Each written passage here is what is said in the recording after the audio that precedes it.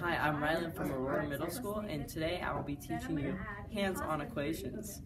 So to start, the red cube is a positive constant, but the green cube is the opposite, otherwise known as a negative. And what else we have? The blue is x, and as you can expect, the white is the opposite of x. And so our first problem is x plus 10 equals 3x plus 2. So as you can see here, I have the same thing, yes.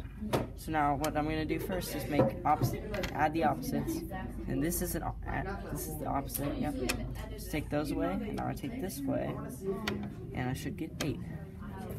And now, I want to get rid of this x. So I'm going to add a y to each side, and take away the pair of 0 here, and here, and if this is this, and you divide 8 by 2, that is 4, so x equals 4.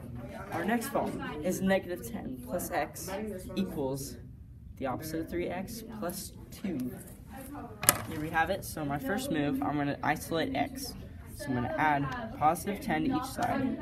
And this is a pair of zeros, so they go bam, out of here. And so now we have 12 here. And since x is isolated, we need to get rid of these opposites of x. So we're going to add three x's to each side. And these are pairs of zero, so one pair of zero, two pairs of zero, three pairs of zero.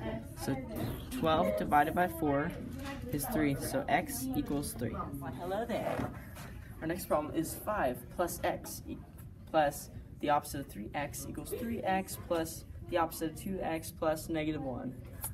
So here we have it. Now what I'm going to do is I'm going to add 1 to each side. So this is a pair of 0, and 5 plus 1 is 6. So bam, out of nowhere comes a 6. And so now we have here is this. We want to get rid of these. So we're going to add 2 to each side. And then that's going to go away. These are going to go away. And this is also a pair of zeros, so that goes away too. So 6 divided by 3 is 2. So x equals 2. Uh, oops, I didn't see you there. Um, thank you for watching. By the way, hit the like button. It's like, it looks like this. Bye.